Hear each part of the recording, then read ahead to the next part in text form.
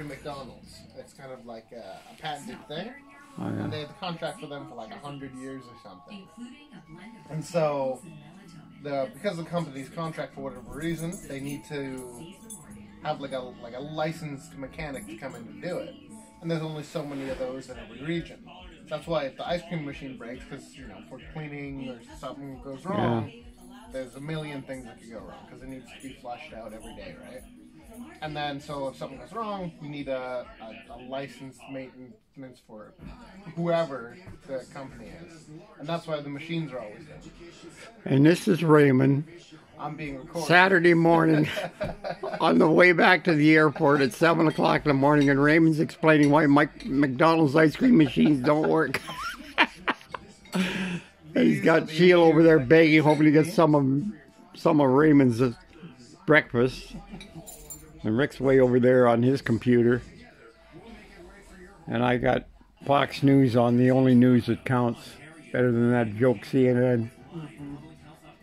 So I'm going to post this on YouTube and everybody can see us having breakfast together and I'm having my my tea and it says on the front you do something to me if you follow the dots to the bottom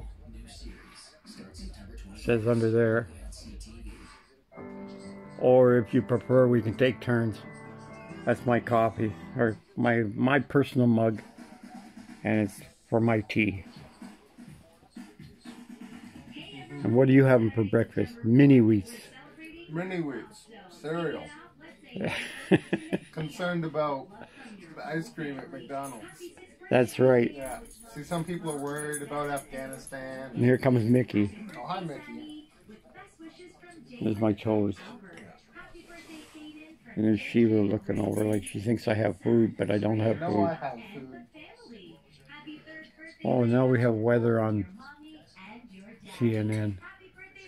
Columbia's got a storm. Yeah. This is us getting ready to take him back to the airport. It's quarter to eight, and your flight is at one o'clock. Yeah. So, But it's a two and a half to three hour drive to the airport. yeah. Toronto Pearson. Rick's. Hey, Rick, did you find out what the weather is in Grande Prairie? No idea, right? No idea? I don't my phone on the did you find out? It's going to be colder than here. Oh, that should be decent. Oh.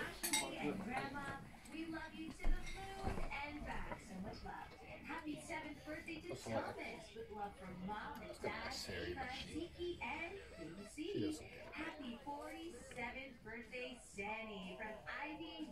I'm making this video because that stupid video that I made yesterday was sideways. Yeah. Weather in GP Alberta.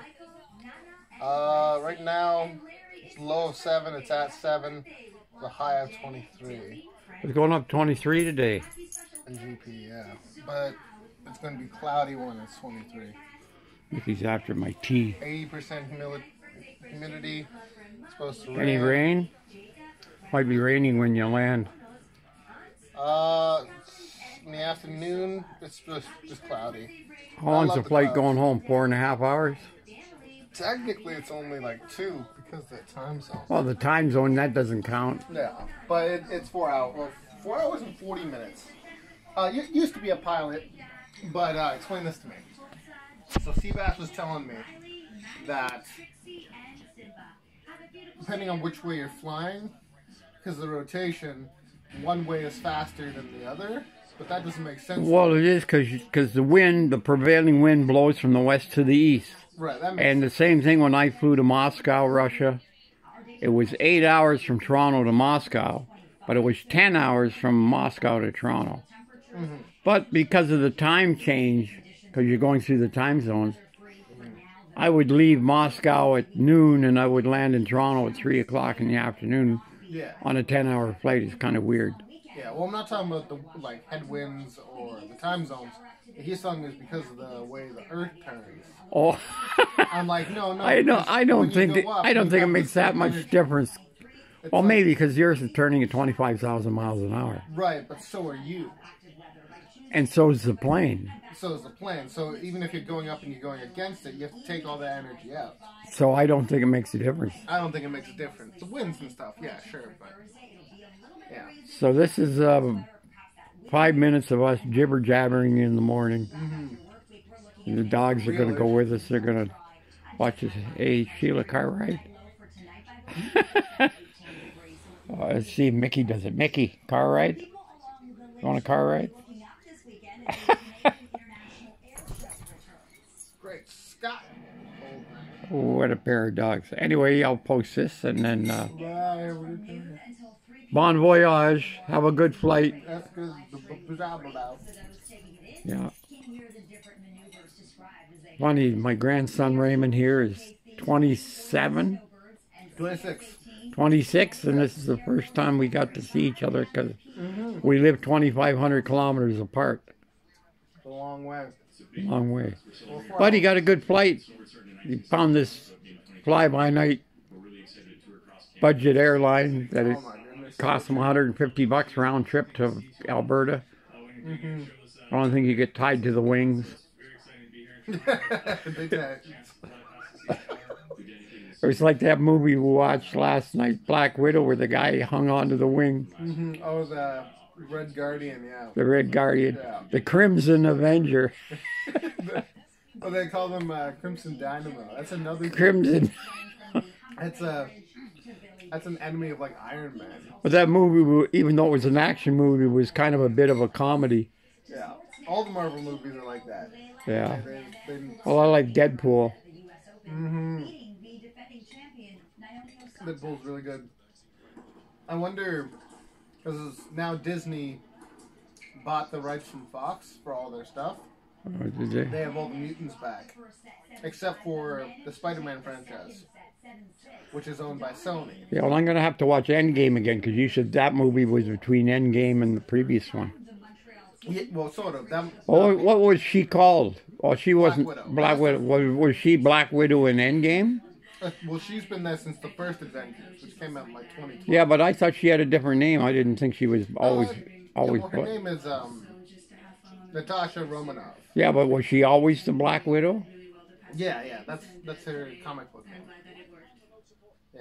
Oh, well, I was thinking of that woman. Remember, I told you about she turns blue, and then her hair goes red. She's got red hair and blue. Oh, that's Mystique. Those Mystique. I thought she was killed in Endgame. No, no, no, no. Mystique's in a different universe. So that that's the the, the X Men, right? The X Men. Oh yeah. But that's owned by Fox. Well, but I thought the X Men got together with the Avengers. No, no, that was the Guardians of the Galaxy. That would be neat if they got together. Yeah, the Guardians of the Galaxy joined in. Yeah, and everybody. But so the Fox movies are the X Men movies and the Fantastic Four, right? Because Fox used to have the rights to Marvel, but now Disney has all the rights. So there's the canon of the canon, the canonical story of Disney's cinematic universe has nothing to do with. X-Men. Oh, but now they got a new Avenger coming out, Chang Li. hmm Yeah. Yeah. I don't know much about Shang Li, but They'll make up some new Avenger, the Big Bopper, but he was a singer and he's dead, so they can use his name as a new Avenger. Carry a baseball bat. But actually, did you watch um, uh, what's that group with the girl carrying the carrying the baseball bat? She was hanging out with the Joker. oh, Suicide Squad. The, The one? Suicide I heard the new one sucked. Yeah. Well, the second one was pretty good, but Was it? yeah, it wasn't bad Oh, because I man. like Margot Robbie. Yeah, Margot Robbie and all that. But um, the Joker wasn't in the second one because he dumped her. He dumped her, and at the end of the first one, he dumped her, so he wasn't in the second one. Anyway, I'll end this video. So have a good trip.